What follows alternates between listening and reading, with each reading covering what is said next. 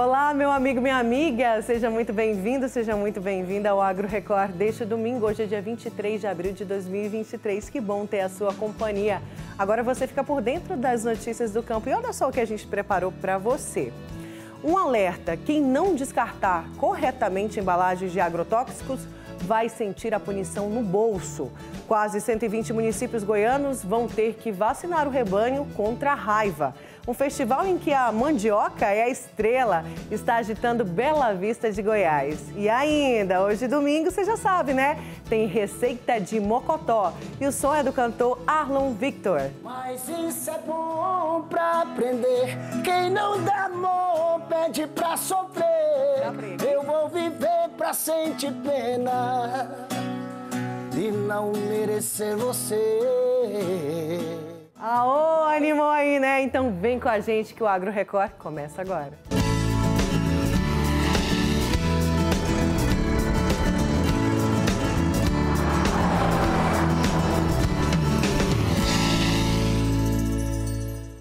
O descarte correto de embalagens de agrotóxicos é tão sério que quem não faz isso da forma correta pode levar uma multa, que em alguns casos chega até 50 mil reais. Quem vai contar e explicar para a gente é o Léo Gonçalves. A legislação é rígida em relação à acomodação de galões de defensivos agrícolas, como os agrotóxicos. Na loja agropecuária, esses produtos tóxicos não podem ficar à mostra, não.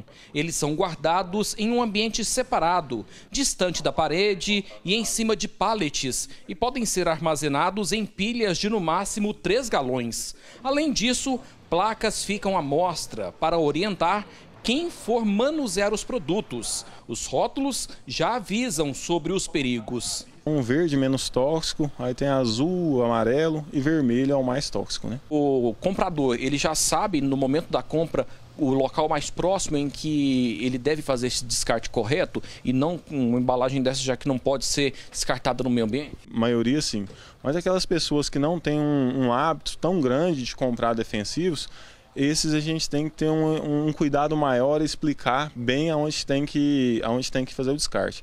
Mas também, quando a pessoa compra um defensivo, ela recebe um receituário agronômico e está bem explicado no, no receituário agronômico aonde ela tem que fazer esse descarte. Essa questão é tão séria que recentemente a Agrodefesa de Goiás apreendeu um caminhão carregado com embalagens vazias de agrotóxicos. Segundo os agentes de defesa agropecuária, o dono do veículo atuava em municípios do sul do estado, como Piracanjuba, Morrinhos e Goiatuba. No momento da apreensão, eram transportadas dezenas de embalagens, muitas preservadas e outras contaminadas, impróprias para reciclagem. O recolhimento e o transporte eram irregulares. Isso coloca em risco a saúde de pessoas e animais, além de ser um perigo ao meio ambiente. O risco ele vai desde a contaminação do meio ambiente, assim como comprometer a saúde das pessoas. Esses locais que recebem essas embalagens e não são credenciados, às vezes eles não estão aptos, então ali pode haver fonte de contaminação do solo, lençol, mananciais de água. E também a gente tem contaminação da vida das pessoas, né? Desde o funcionário que naquele local ele não tem instrução para fazer o manuseio daquele produto, ele não tem equipamento é, de proteção individual para fazer aquele manuseio. E por fim a gente tem ainda aquele que é o maior risco. Essas embalagens, elas não passam por uma triagem em que é feito, por exemplo, para verificar se foi feita a tríplice lavagem ou não, e ela é misturada com plásticos comuns. Na hora de usar defensivos, todo produtor rural tem uma série de responsabilidades e uma delas é dar o destino correto às embalagens vazias. Quando descartadas de qualquer jeito, elas viram um problema para o meio ambiente e para a nossa saúde. Por isso, o produtor é sempre orientado que, após fazer o uso do produto, o recipiente precisa passar pela tríplice lavagem e ser guardado em um local seguro dentro da propriedade. Uma única embalagem de agrotóxico pode levar até 500 anos para se decompor. E a reciclagem ajuda na conservação do solo, na qualidade da água e na proteção da fauna e da flora. Tudo isso influencia na preservação do meio ambiente. A devolução das embalagens deve acontecer nas unidades do sistema Campo Limpo. Com o descarte correto, o material pode ser reciclado. De acordo com o Instituto Nacional de Processamento de Embalagens Vazias, o INPEV, no ano passado, 52.500 toneladas de embalagens receberam o destino correto, ou seja, foram entregues em mais de 400 postos ou unidades de recebimento credenciados espalhados pelo Brasil. 92% do total foi para reciclagem e 8% precisaram ser incinerados. Agora, quem não dá o destino correto ou faz o transporte e destinação indevida pode ser pego pela fiscalização da agrodefesa e ser multado. O uso indevido, a destinação indevida de embalagem de agrotóxico, ela pode culminar numa sanção que varia de multa de mil até 50 mil reais, além das outras punições, seja na esfera civil ou criminal. Tem que ter punição, porque tem que ter o descarte regular desse tipo de material, até porque a gente sabe do dano que alguns podem gerar, tanto para a saúde né, do ser humano como um todo, quanto para o meio ambiente. Então, só quando dói no bolso que as pessoas aprendem. Então, tem que ter mesmo é, uma multa severa, na verdade, uma pena né, mais severa para o pessoal aprender. Agora alerta aos pecuaristas. Quase 120 municípios goianos vão ter que vacinar o rebanho contra a raiva. A continuação da obrigatoriedade é por conta do risco da doença em algumas partes do estado. A vacinação contra a raiva está prevista para acontecer no mês que vem, mas já tem pecuarista em Rio Verde se preparando para vacinar o rebanho contra a doença. É, a intenção nossa de vacinação, ela já vem programada há algum tempo, porque isso já vem sendo exigido pela agrodefesa durante alguns anos, né? Então essas cidades que saíram pode ter mudado algum planejamento, mas para nós que mantém a vacinação em dia, é, sempre preocupamos com isso. Às vezes não é uma coisa muito incidente, mas a vacina por precaução nunca é demais. Os pecuaristas precisam ficar em alerta, apesar da vacinação contra a febre aftosa ter sido suspensa a partir desse ano em Goiás. A vacinação contra a raiva ainda continua em 119 municípios que apresentam risco da doença. Rio Verde, Santa Helena, Mineiros, Chapadão do Céu, municípios vizinhos aqui da nossa região, estão nessa lista. A doença é transmitida pelo morcego contaminado, mas nenhum caso na nossa região foi registrado nos últimos anos. No mês de maio, todos os animais bovinos, bubalinos, equinos, ovinos e caprinos de todas as idades, criados em municípios classificados como risco, deverão ser vacinados contra a raiva. Já no mês de novembro, também será obrigatória a vacina em animais das mesmas espécies mas com idade entre 0 e 12 meses.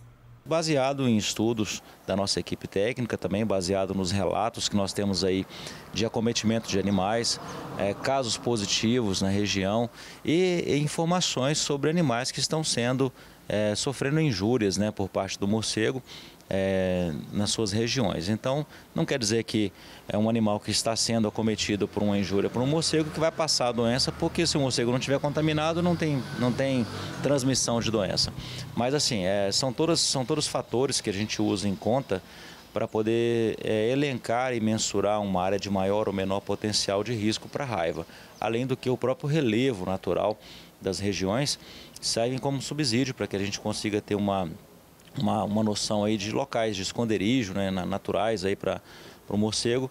E então a gente faz essa, esse levantamento colocando áreas de maior ou menor risco. Então a gente teve uma, uma modificação nessa listagem, baixou um pouquinho, a gente teve algumas inclusões e saídas e assim a gente vai fazer agora é, essas etapas de vacinação. Nessa loja agropecuária, as doses da vacina contra a raiva já estão sendo vendidas mas a procura ainda está baixa.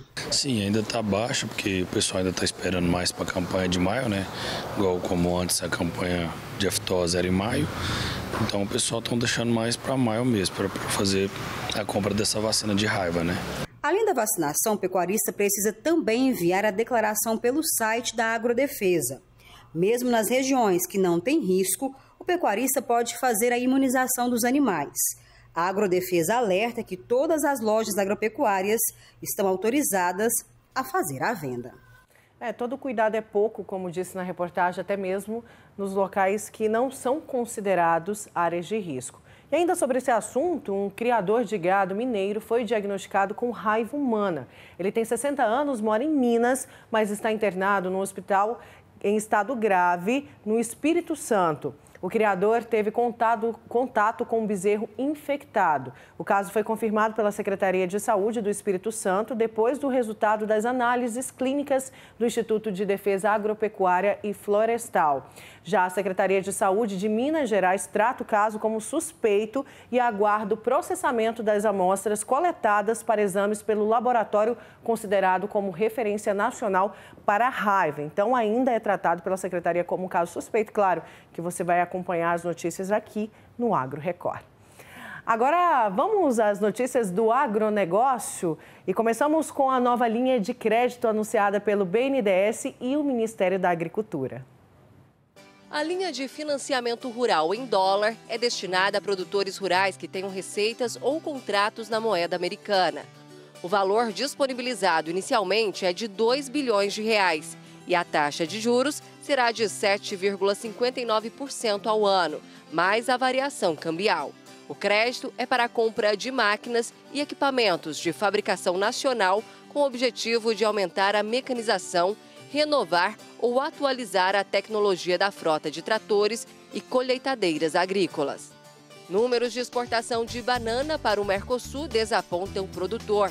As exportações brasileiras da fruta não têm tido bons números desde o início do ano.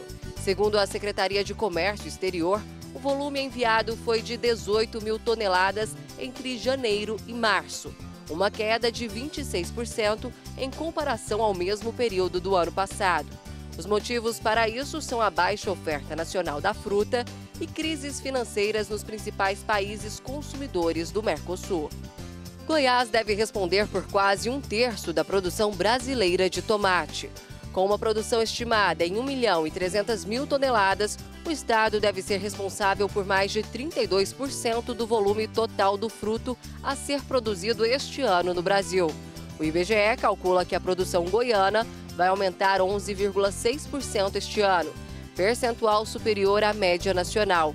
O rendimento médio deve chegar a quase 94 toneladas por hectare.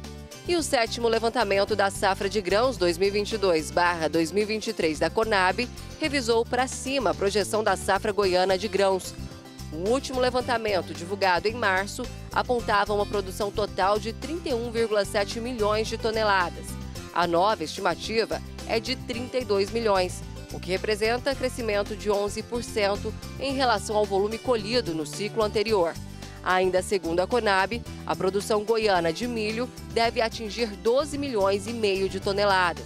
Já a projeção para a soja passou de negativa para positiva. Em março, a estimativa era de recuo de 0,6% na produção. Agora é de aumento de 1,4% chegando a 17,6 milhões de toneladas. Agora o quadro Senar Goiás, do campo à cidade.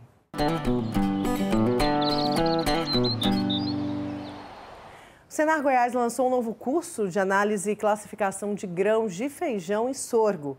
O Fernando Vitti, que é coordenador técnico do Senar Goiás, veio aqui explicar para a gente a importância dessa qualificação para o mercado e também para a empregabilidade. Primeiro, Fernando, seja muito bem-vindo. Que bom tê-lo aqui com a gente, principalmente para falar de um assunto como esse, né? Qual o objetivo de fazer essa, essa qualificação, essa classificação dos grãos? Bom, nós temos aqui no mercado de trabalho bastante procura por essa atividade. É, o feijão é muito destinado à alimentação humana, é um dos principais produtos na mesa do brasileiro. O sorgo, ele tem principal ação dele é o destino para os animais, né, alimentação animal. Inclusive, o estado de Goiás é um dos principais produtores do Brasil de sorgo. Mais de 30% do sorgo que é produzido no Brasil é produzido no nosso estado. Então, esse treinamento, ele preconiza toda a parte de classificação de grãos, a amostragem, como se faz a amostragem, como se faz a, a, a diferenciação entre os, os tipos de grãos, a qualidade do grão, o teor de umidade na semente, tudo isso de acordo com as normas do Ministério da Agricultura. Pois é, agora, Fernando, esse curso do Senar Goiás é uma oportunidade de trabalho em quais locais, por exemplo? Tem muita demanda para essa classificação? Porque você tem um grão também com muito mais qualidade né, no mercado. Sim, sim, tem muita demanda. O profissional ele pode trabalhar como classificador tanto dentro da fazenda, junto ao produtor rural, como em armazéns, é, na parte de beneficiamento também de sementes, em cooperativas agrícolas, em é, empresas prestadoras de serviço na classificação de grãos. Tudo isso o profissional pode trabalhar em qualquer área, de, qualquer região do estado e mesmo do Brasil, porque os treinamentos do Senar são reconhecidos em todo o território nacional e são aprovados pelo MEC. Agora, Fernanda, a gente estava vendo aí imagens né, da primeira turma de Formosa. Fala para a gente um pouquinho do conteúdo que é repassado para os alunos e como que o pessoal faz para se inscrever? Bom, os interessados eles devem sempre procurar o sindicato rural do município que ele está inserido, né? O treinamento ele aborda desde a amostragem, como se faz uma amostragem utilizando calador, calador para carga a granel, carga ensacada, calador pneumático, a quantidade de amostras que devem ser realizadas em função do tamanho da carga, a homogeneização, o quarteamento, o cálculo do teor de umidade, do teor de impurezas, passando inclusive por conteúdos transversais que a gente fala que são apresentados em todos os treinamentos do Senar, que são a parte de ética e cidadania, saúde e segurança do trabalho, meio ambiente. Então, tudo isso é abordado também de forma muito prática, porque os participantes do Senar, eles aprendem a fazer fazendo. É isso aí, gente. Mais informações, tem o telefone aí na sua tela, tem o site do Senar. Fernando, mais uma vez, muito obrigada, viu? Foi um prazer. Sucesso sempre aí. Obrigado. Curso maravilhoso, tenho certeza que vai ajudar muita gente no mercado de trabalho. Sim, sim obrigado. Esse foi o quadro Senar Goiás, do campo à cidade.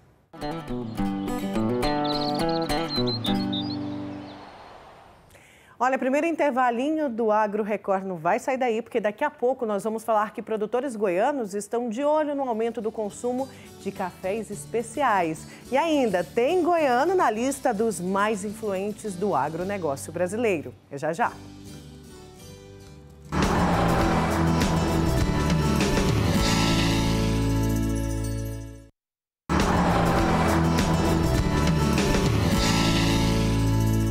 Voltamos com o Agro Record deste domingo, um domingo pós-feriado, né? E aí, como foi seu feriado? Tá curtindo ainda a preguiça? Tá aí em casa acompanhando a gente? Ó, só quero reforçar que você pode participar com a gente sempre. O telefone tá aí na sua tela. Manda sua foto, manda aí a receitinha que você faz no domingo, manda também se tiver algum problema com plantação, aí no seu quintal, enfim, na fazenda, no sítio, onde for, viu? O importante é você participar, porque o agro é feito para você. O empresário Otavinho Lage está na lista dos mais influentes do agronegócio brasileiro. Otávio Lage de Siqueira Filho comanda o aglomerado de empresas da família Lage, com sede em Goianésia. O prêmio destaca as pessoas que mais exerceram influência no ano passado.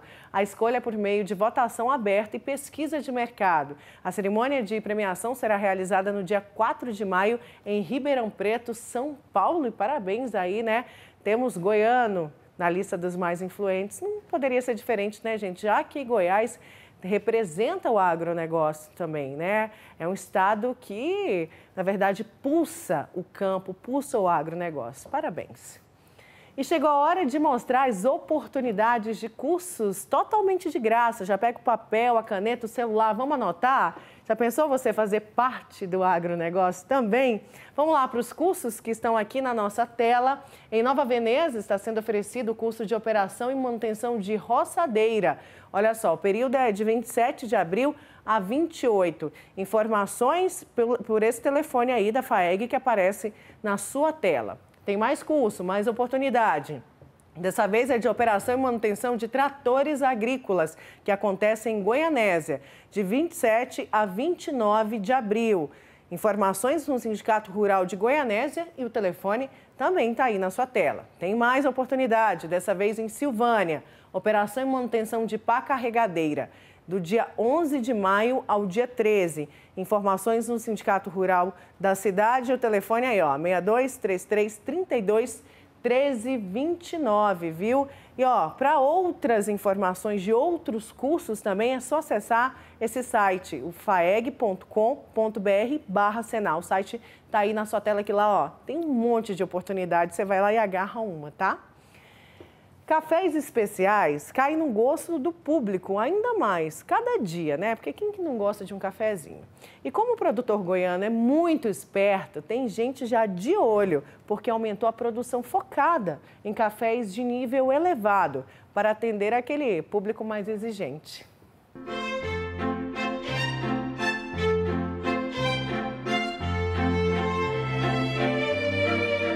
A fazenda da família Zancanaro fica no município de Cristalina. A imensidão de pés de café hoje busca mais qualidade do que quantidade.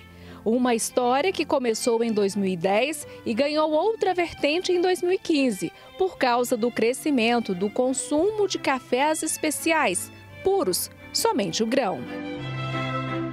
Hoje a fazenda ela produz em torno de 45 mil sacas anos e 70% dessa produção é de café de qualidade, de café especial.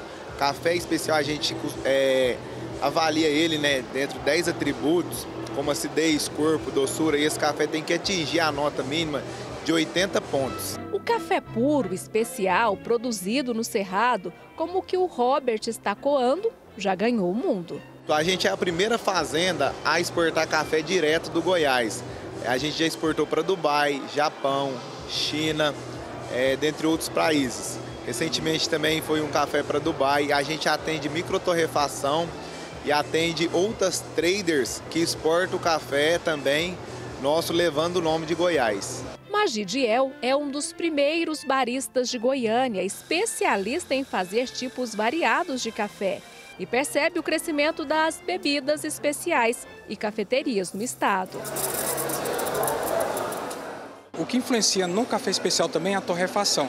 Quando você vê um café torrado, ele é mais marronzinho. Já o tradicional de casa, ele é um pouco mais escuro. Na verdade, é praticamente queimado, né? Então, você não sente essas nuances do café.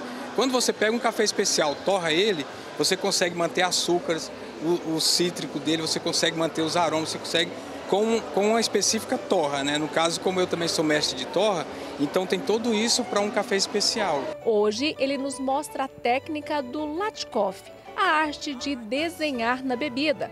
Merece até um brinde. As pessoas estão conhecendo o café especial, como é produzido, colhido, tudo. E eu que estou, desde essa época que eu vi isso crescer, isso é muita satisfação saber que o goiano toma muito café e hoje já estão muito interessados nessa parte de cafés especiais. Viu? Tem os cafés puros, os gourmets, como esse com caramelo de café, um creme com uma cara e um sabor maravilhosos. Então agora vamos ver esse aqui com caramelo de café, uma proposta mais gourmetizada.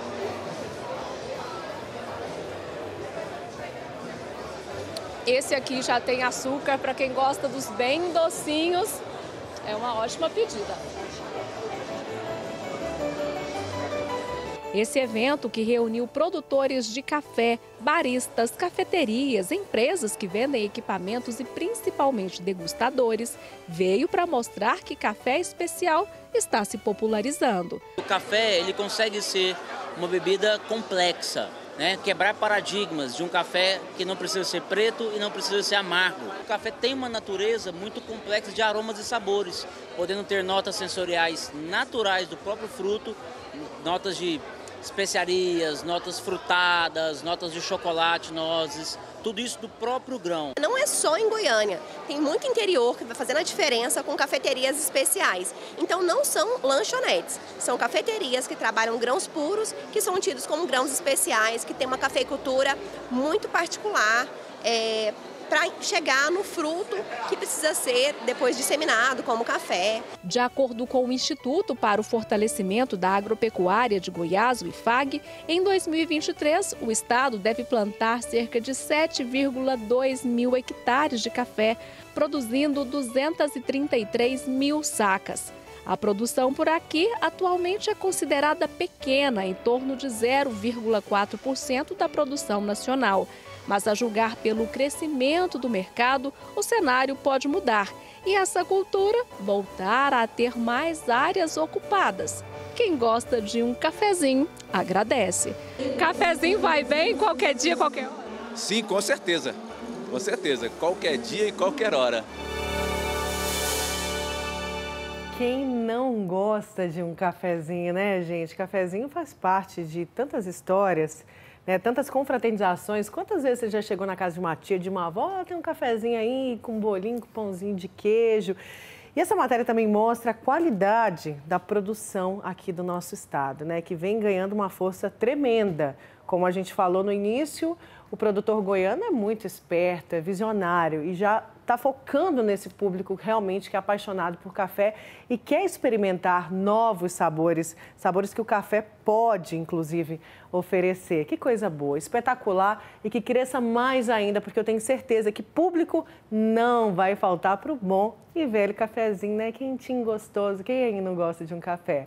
Bom, vamos para o intervalo então, tomar um cafezinho, acordar direitinho nesse domingo pós-feriado. Daqui a pouco a gente vai falar do Festival da Mandioca, que agita a Bela Vista de Goiás. E claro, né, gente, tem receitinha. Você aí gosta de mocotó?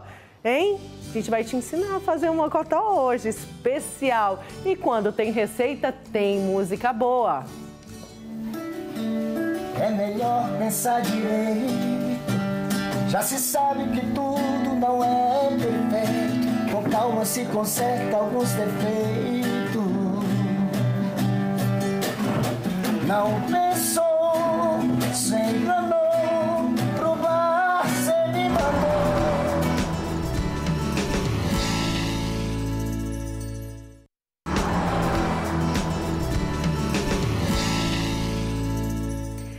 Volta com o Agro Record. Ó, deixa eu dar um recadinho para você que está acompanhando a gente no YouTube.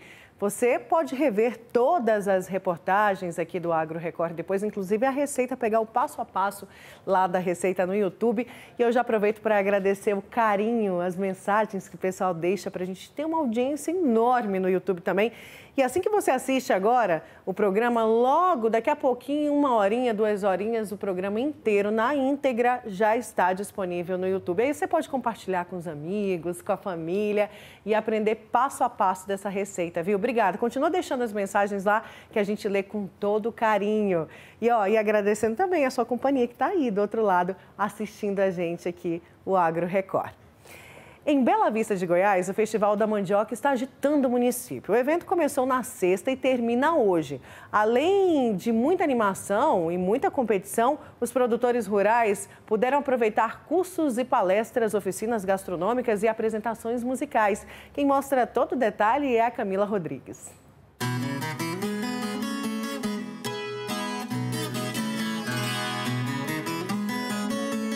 Essa é a raiz do Brasil. Que beleza! Oh, a mandioca! Oh! Representa o país para o mundo e tem vários nomes. Aipim, maniva, macaxeira. Nativa da Amazônia, ela era cultivada pelos indígenas muito antes da chegada dos portugueses e hoje está presente em mais de 100 países. A mandioca faz parte da nossa história e da nossa cultura. E nada melhor do que falar dessa raiz no município que é o maior produtor de mandioca de Goiás, a centenária Bela Vista, que fica a 60 quilômetros de Goiânia. Aqui, bem na região do Cará, a mandioca sustenta muitas famílias. Uma menina assim bem nova. Comecei ajudando meus pais e foi. Até que eu consegui chegar na hora de aposentar, me ajudou muito a fazer som do polvilho aposentei e continuo até hoje fazendo polvilho. São 3 mil produtores rurais de várias culturas, parte deles que vivem da lavoura da mandioca. A mandioca gera emprego, gera renda, fixa o homem no campo. A mandioca é brasileira. E eu tava falando pra dona Gracinha. É conhecida de aipim e macaxeira, mas e rainha do, do Brasil, Brasil e pão dos pobres, porque é uma rama simples, barata, que dá em qualquer lugar, que tem um alto sabor nutritivo. O município promoveu neste mês de abril a primeira edição do Festival da Mandioca. Na programação, muito conhecimento, com palestras sobre o cenário desse alimento no estado e no país, aprimoramento de técnicas e cursos de capacitação. Os produtores rurais eles podem procurar o sindicato rural para pedir esse curso né, para a região deles. E nesse curso eles vão aprender sobre as técnicas de cultivo da mandioca, é, vão aprender sobre as, as, cultivares que são disponibilizadas, né, o manejo, como os tratos culturais, aração, gradagem do solo, correção do solo, adubação, é, manejo de pragas e doenças, né, além da parte de comercialização da cultura da mandioca. Além do Senar, pesquisadores da Embrapa também levaram informações sobre o melhoramento genético e a variedade dessa raiz. O trabalho técnico e científico trouxe para essa área mais de 50 tipos de mandioca. Temos aí vários clones e o diferencial deles, que eles são mais produtivos do que a IAC 12829, que é a variedade mais plantada nas condições do cerrado e também a altura da primeira ramificação, que vai contribuir para maior, maior facilidade no manejo e também no plantio comercial mecanizado. O dia de campo não ficou só na teoria não, viu? Foi para a prática, numa competição de quem arrancava mais mandiocas primeiro.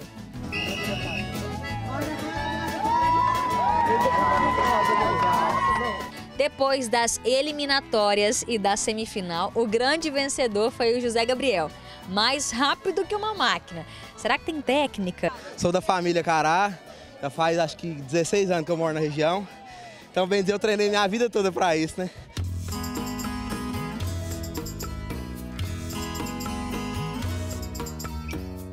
Eu não participei da competição, que é para não passar vergonha, mas foi me dada a missão de arrancar a mandioca aqui da terra e é claro que eu vou tentar cumprir. Segura aqui para mim, por favor. Vamos lá.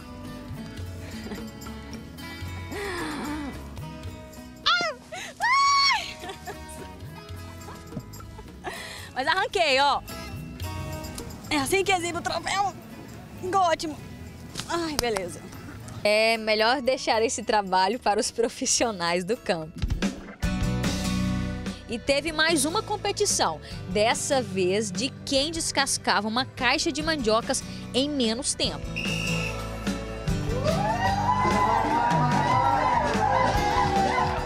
Na batalha dos finalistas, Dejair mostrou que domina o descascador.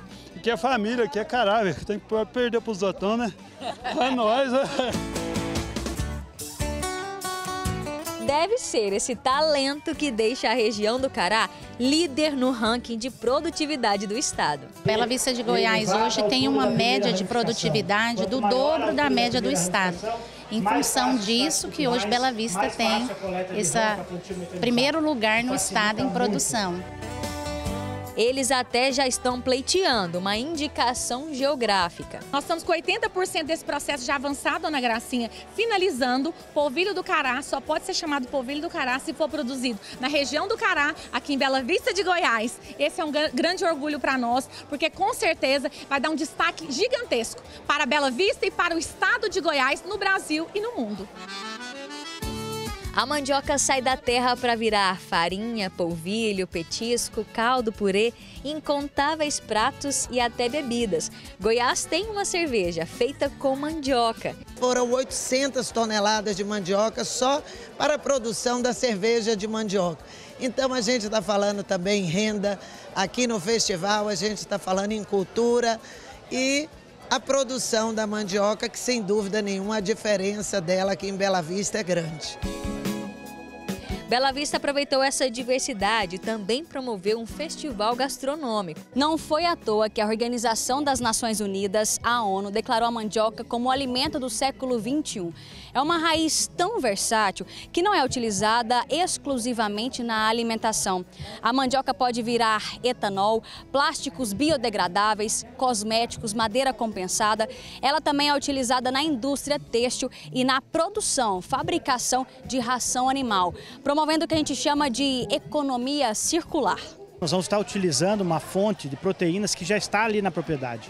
É menos gastos com combustível para ir buscar uma outra fonte de proteína, é menos gasto de recursos financeiros, é comida mais barata, é maior rentabilidade para o produtor.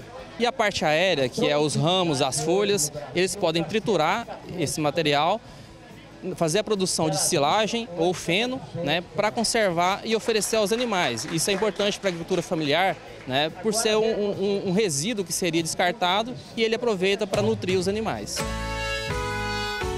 Fonte de nutrientes e vitaminas, a mandioca promove riqueza social. Essa raiz tipicamente brasileira e milenar é tradição, cultura, ganha pão e sacia a fome. Um alimento brasileiro que está aí desde o descobrimento e hoje Bela Vista tem tido a honra de levar o título de mandioqueira do estado.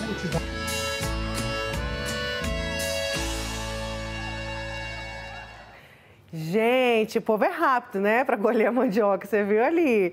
Que bacana esse festival, teve competição, teve treinamento, teve curso, teve muita música e animação, não faltou, você viu aí, né? E claro, destacando a qualidade da produção da mandioca também, né? Toda essa força que tem o estado de Goiás, Bela Vista também, com a produção da mandioca e toda essa diversão. Olha aí que rapidez!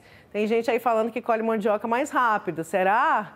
Joelson está falando aqui, será que ele colhe a mandioca mais rápido que esse povo aí? Não sei não, hein? Só acredito vendo.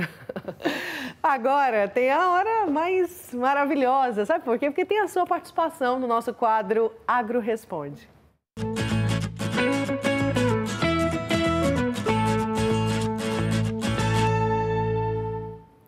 E a dúvida de hoje é do Matias. Ele mandou esse vídeo para a gente mostrando uma infestação de caramujos na plantação de mamão que ele tem. Vamos ver o vídeo aí? Ele fala também aí? Deixa eu ver se ele fala alguma coisa. Não? Ó, ele pegando aí os caramujos. Virou uma aí, praga nessa época agora. E eles tomam conta de toda, toda árvore, todo pé de fruta, pés de mamão, tá vendo? Mesmo pé, agora em cima, na bem na folha em cima. Olha aqui, ó. Tá vendo como é que fica? Ele fica grudado, ó. Ó. Vira uma paga isso. Nossa, Ma- Matias está cheio mesmo. E, gente, mamão é uma coisa que a gente está podendo perder nada, né? Porque o mamão tá caríssimo. Mamão formosa, a peça ali, né? Tá mais, tá quase 20 reais. Então, realmente, ele tem que cuidar dessa plantação. E a gente foi atrás, claro, né? De saber o porquê dessa quantidade de caramujo na plantação de mamão dele. Quem vai responder para você, Matias, é o Giovanni Pinheiro. Vamos acompanhar. O problema que você está tendo aí na cultura do mamão é com caramujo. Normalmente, em épocas que você tem alta precipitação pluviométrica, tem a ocorrência do mesmo. A forma de controle mais usual é quando você compra lesmicida e faz a aplicação em volta das plantas. Normalmente vem granulado e tem que se atentar quando tiver o solo muito encharcado para não fazer utilização do mesmo. É esperar o solo secar um pouco para poder fazer a utilização em volta das plantas. Obrigada, Giovanni, pela sua resposta, viu, Matias? A gente espera ter te ajudado. Faz isso que ele falou, aplica ali para evitar esses caramujos, né? Afinal de contas, mamão tá caro, tá ouro, mamão tá ouro agora. E se você também tem alguma dúvida aí, tem algum probleminha na sua plantação, mesmo que seja aquela plantação de apartamento, sabe que tomatinho cereja que não pe- não pegou, manda pra gente que a gente vai atrás de uma resposta para você, para te ajudar. E esse foi o nosso quadro Agro Responde.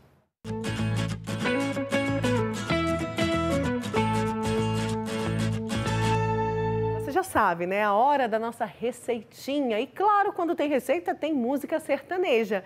Hoje nós vamos aprender uma receita de mocotó com o cantor Arlon Victor. Aô, Goiás! Eita, domingão de qualidade, gente. Já tô aqui, olha, de chapéu e tudo, a caráter, porque hoje é dia de comida gostosa e também muita música boa com ele, Arlon. Inclusive, gente, o cantor acabou de chegar. Vem pra cá, Arlon. Coisa boa. E aí, Arlon, tudo jóia? Tudo jóia, Nath, tudo bem? Cheguei. Hoje, hoje tá com a promessa aí de muita música boa, comida de qualidade, é isso? Com certeza. Então vamos lá. Já veio aí no chapéu, a caráter também, né? Caráter, chapéu, tudo ok, graças a Deus.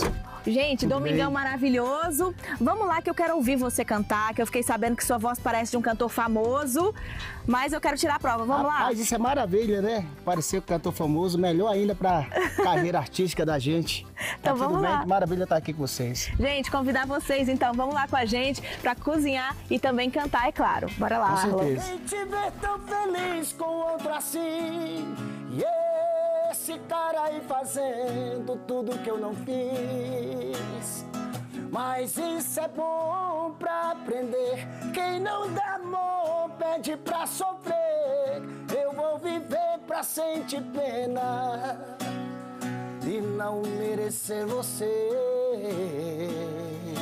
Oh, coisa boa! A gente já começa assim na sofrência total, né, Arlon Victor? Eita, sofrência é verdade, viu? Oh, meu Deus do céu. Uma hora dessa soltar a garganta não é fraco, não, viu? Ô, gente, a gente está agora aqui no setor rural aqui de Santo Antônio do Descoberto, um local muito gostoso, inclusive. A gente já passou aqui por boi, tem também cavalo. Você monta cavalo, né? Já Com mostrou certeza, pra gente que. Com certeza, com certeza. Monte cavalo é dos bravos. Agora, Arlon, conta pra gente um pouco da sua história, de onde que você veio, como que você chegou até aqui, né? É, na realidade eu nasci no Pernambuco, né? Condado, a cidade pacata, interior. E vim para Brasília, Sobradinho, com 17 anos, é, começando a cantar nos bares. E graças a Deus estamos aí com a agenda, a agenda cheia hoje, só agradecendo a cada caminhada que damos. E o estilo musical? É sempre esse sertanejo ali que vai lá no fundo do coração ou canta outros tipos também de música? Sertanejo, nato sertanejo. Mas a gente canta de tudo, na noitada tem que cantar de tudo. Piseiro, forró, shot, pé de serra, Raul Seixas, né? Tem que cantar de tudo. Forrozinho. Forrozinho, com certeza. E me conta um pouquinho se como que foi assim as- o seu ingresso na música, né? Como que você ingressou na música? Porque a gente sabe que geralmente ou a pessoa ali se identifica desde criança ou tem alguém na família, um amigo que já é da música que incentiva. Como que foi que você falou é isso que eu quero pra minha vida? Desde os 10 anos que eu me conheço, 8 anos, a gente já cantava lá, né? Um amigo meu, menino, até hoje canta lá em Condado, Pernambuco. E eu acho que é de sangue, porque meu tio, ele tem uma escola lá de música, né? E acho que foi de sangue mesmo, porque para gostar tanto assim, e hoje está vivendo da música, eu com certeza puxei pro meu tio. Ele tem uma escola de música lá no Recife, Condado, Pernambuco. Ah, coisa boa. Shows, quantos shows faz por semana? Agenda lotada já aí. Graças a Deus, a gente está fazendo de 5 a 6 shows por semana, aqui em Brasília e região. Legal demais. Agora, Arlon, é, você estava me contando que as suas músicas, você tem muitas músicas autorais, muitas músicas suas, né? Você trabalha ali também é, em conjunto com alguns compositores. É, como que está sendo a aceitação das suas músicas? Já tem muita música autoral aí na boca do povo? Graças a Deus está sendo muito aceita, né? Inclusive essa que eu cantei, composição do, do meu amigo Rangel, do Quito, da dupla Rick Rangel lá. E uma das músicas que eu fiz o clipe maravilhoso no Rio de Janeiro, depois vocês acessam lá. Pena que eu não via, Arlo Victor. Tem um clipe que a gente fez em Copacabana, muito bacana. Tem mais uma música pra gente? Tem uma sua? Uma, mais uma do Arlo Victor aí, composição do meu amigo Vino Xavier, que está presente aqui. Hoje ele vai fazer a comida para nós. Né? Alô, Vino Xavier. Daqui a pouco eu quero ver você com a mão na massa, hein? Mas enquanto isso, vamos aqui de mais música. É melhor pensar direito. Já se sabe que tudo não é perfeito. Com calma se conserta alguns defeitos. Não pensou, se enganou.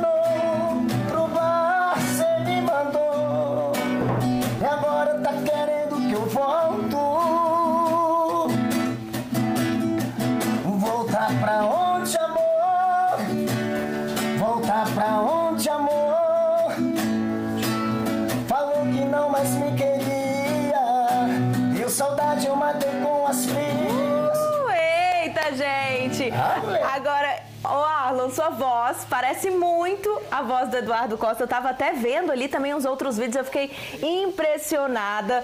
Você força pra sua voz parecer com a dele? É natural? Como que é isso? Rapaz, Não, não forço nada, na realidade é natural mesmo. É, acho que o tipo de voz, né?